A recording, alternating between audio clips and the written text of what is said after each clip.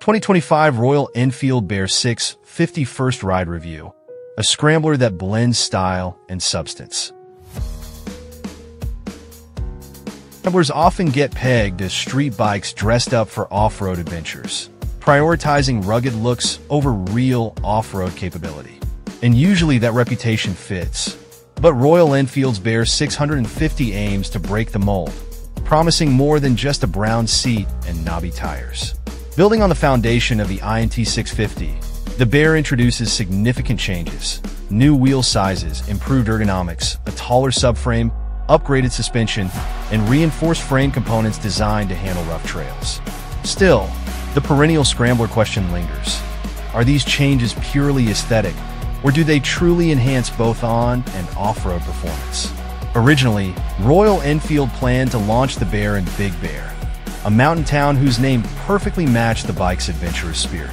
However, wildfires in Southern California forced a change of plans, relocating the event to Palm Springs. Known for its wind turbines, golf resorts, and mid-century modern charm, Palm Springs offers a striking desert backdrop and is a favorite getaway for Los Angeles residents. On the morning of the ride, we gathered to inspect the bikes before hitting the road. The Bear's design immediately caught our eye with its clean, classic lines, highlighting the frame and the flat-bottom gas tank for a look that's both simple and appealing. With helmets strapped on and engines fired up, we set off. Compared to the INT 650, the Bear 650 feels distinctly more upright and trail-ready. Foot controls are set farther back, handlebars rise higher, and the redesigned seat is contoured to complement the taller suspension without dramatically increasing seat height.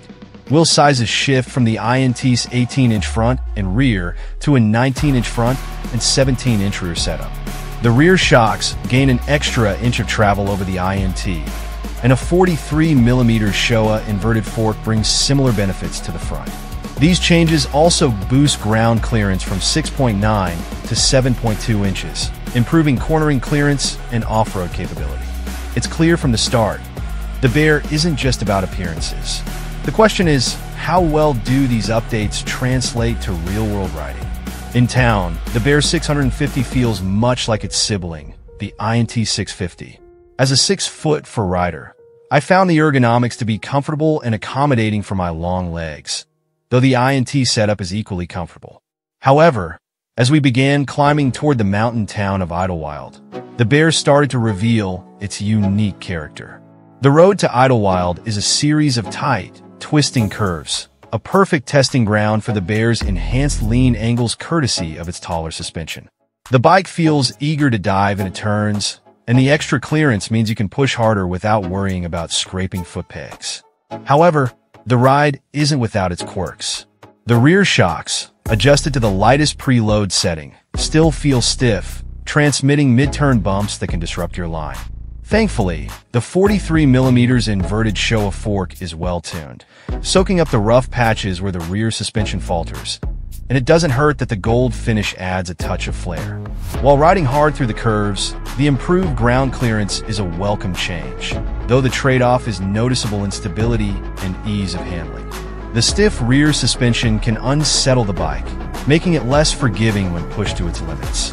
When we pulled off onto a short trail for photos, it gave us a chance to sample the Bear's off-road potential. On hard-packed dirt, the bike feels confident and composed.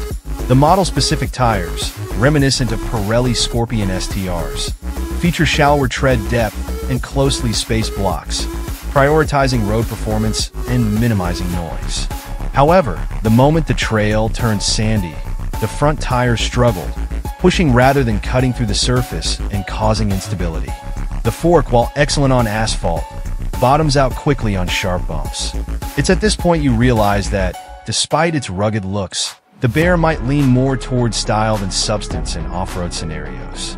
We stop for lunch at a picturesque park filled with towering oak and cedar trees, a perfect spot to admire the Bear's aesthetics.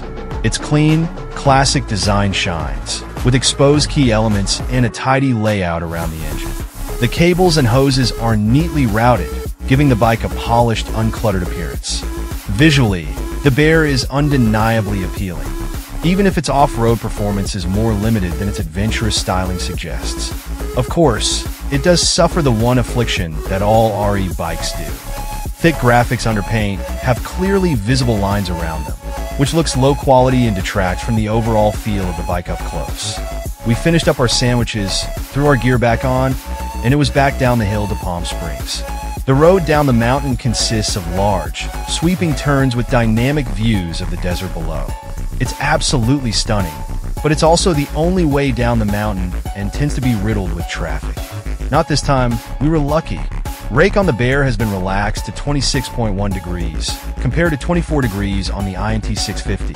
So tip-in takes more effort, and maintaining your intended line takes a little more pressure to the inside bar. That stiff suspension is just a little too reactive when you're leaned hard into a turn and test the rider's skill. If there was more rebound damping, we could live with the stiffness. As it is now, suspension performance is unbalanced front to rear. Yet it's wildly fun to ride this way and just let it sort of wiggle beneath you. We pulled back into Palm Springs and split lanes back to our hotel. The Bear 650 is a fun bike to push, but it feels like it needs some pushing in every setting. On road, it's not as stable or planted as the INT 650, and off-road on anything other than simple hardpack, it just feels out of place. While the Bear's off-road chops are mostly aesthetic, Enfield's frame reinforcements and updated ergos are very nice, and now give Scrambler customizers a much better platform to start with. The 2025 Royal Enfield Bear 650 delivers a blend of performance tailored for both urban streets and light off-road adventures. Powered by the same 648 cubic centimeters parallel twin engine as its INT 650 sibling, the Bear maintains the smooth, linear power delivery and characteristic exhaust note that have become hallmarks of Royal Enfield's twin platform. Producing approximately 47 horsepower and 38 lb-ft of torque, the engine is well suited for a variety of riding conditions.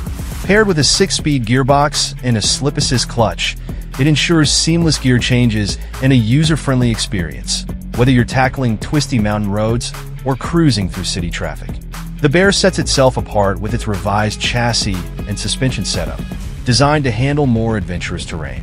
The taller 43mm Showa inverted front fork and longer rear shocks provide increased suspension travel and ground clearance, boosting its capability on uneven trails. The updated suspension also enhances cornering clearance, allowing riders to confidently lean into turns without scraping foot pegs. While the stiffer rear shocks can feel a bit jarring on bumpy roads, the front fork compensates by absorbing rough patches with ease.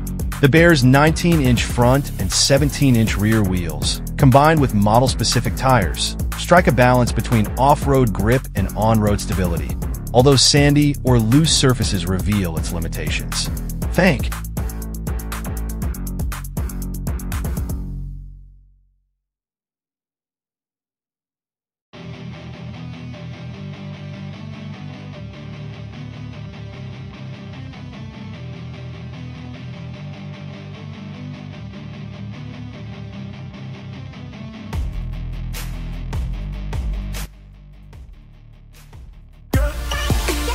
Thanks for watching. Please like, share and subscribe if you like videos like this. Thank you.